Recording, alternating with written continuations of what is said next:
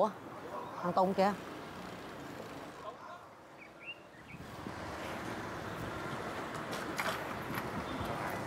Ê mày nhớ tao không mày?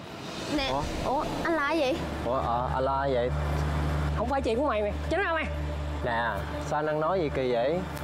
Còn mày á đừng có xen vô chuyện làm ăn của tao nữa nha mày. Nè anh anh là đàn ông sao anh lại ăn nói gì phụ nữ vậy? Sáng mặt đàn ông đúng không? Ngon lắm.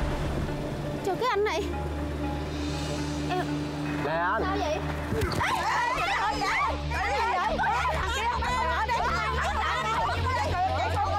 Mẹ thấy cái việc làm của con á, Nó không có ổn một chút nào hết á.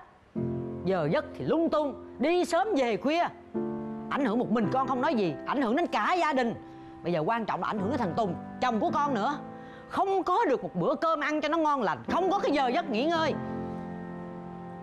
Mà mẹ thấy đó nghe Thời buổi bây giờ thiếu gì việc mà phù hợp với con sao con không làm. Con nhận làm cái công việc gì đâu mà gieo thù chú quá tùm lum người vậy. Nhưng mà thực sự ở đây là công việc con rất là đam mê Nên là không thể nào nói bỏ là bỏ ngang được đâu mẹ. Đam mê đam mê. Đam mê nhưng cũng phải đúng. Và đủ. Dừng lại đúng lúc. Gia đình hạnh phúc. Anh biết đó. Cái này á là đam mê cả đời của em mà đúng không? Đâu thể nào mà em chuyển nghề khác được. Em cũng không biết làm sao nữa. Nên là hay là bây giờ em tính Hai đứa mình chuyển ra sống riêng nha. Kiếm chồng, mẹ chồng, mẹ ưng